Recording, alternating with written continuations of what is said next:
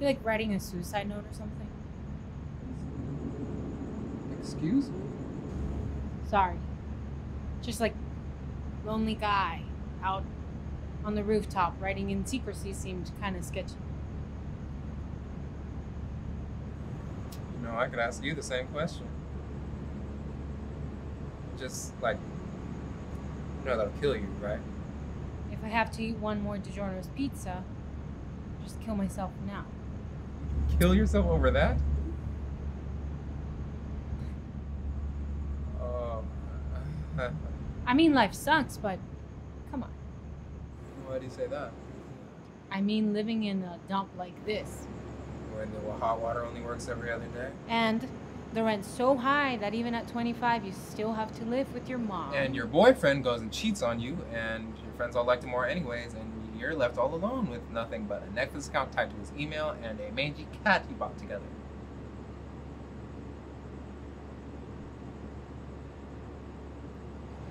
I don't know if that comes with the apartment. Sorry. It's whatever. Life sucks, right? Do you know why I asked you about the suicide note? Uh, My brother jumped off this fire escape. Right about where you were. I saw him out here, but I, I didn't know what he was doing.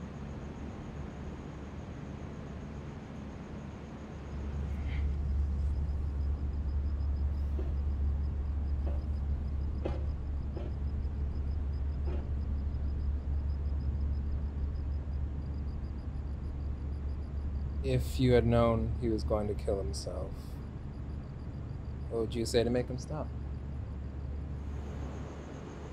What would you say?